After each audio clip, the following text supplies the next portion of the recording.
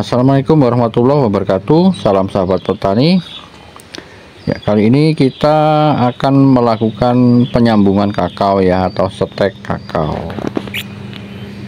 Oke kali ini eh, penyambungannya di pinggir ya Seperti ini. Eh, Pinggirnya tunasnya ya. Tunas air ya ini ya teman-teman ya.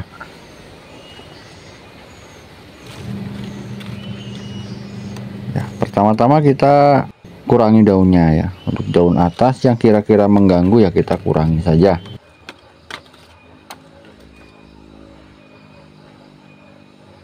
Ya, selanjutnya kita potong atasnya ya seperti ini kita potong menggunakan gunting boleh menggunakan pisau boleh ya Oke setelah kita potong seperti ini ya kita siapkan entres yang akan kita gunakan ya untuk entres kita gunakan jenis kakao yang bagus ya. Tadi ngambil di tempat tetangga yang memang sudah disetek ya sudah disambung.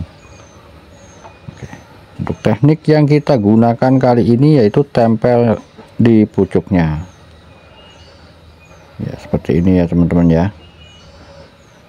Ingat untuk semua teknik biasanya keberhasilannya ya tergantung dari uh, tempatnya juga ya teman-teman. Kalau untuk tempat yang berbeda tekniknya beda lagi. Supaya bisa berhasil ya teman-teman. Selanjutnya harus cepat ya.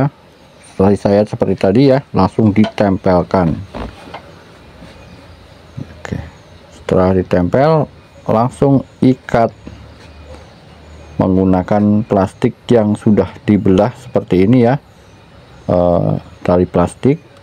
Dari plastik PE yang kita belah bisa untuk mengikat. Atau mungkin teman-teman mau memakai e, tali rapi ya, ya boleh juga ya. Yang penting untuk pengikatan ya kira-kira saja. Ya.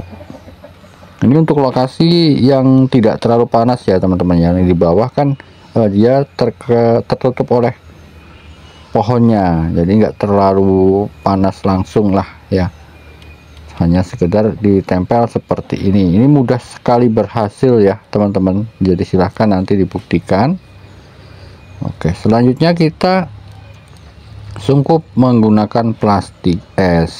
Ya kita enggak ikat full ya karena lokasinya ini tergolong ideal ya. Tidak terlalu panas sedang lokasinya. Jadi dengan cara ini juga sangat mudah berhasil Oke ya teman-teman ya. Nanti setelah 25 hari dia bakalan tumbuh tunas.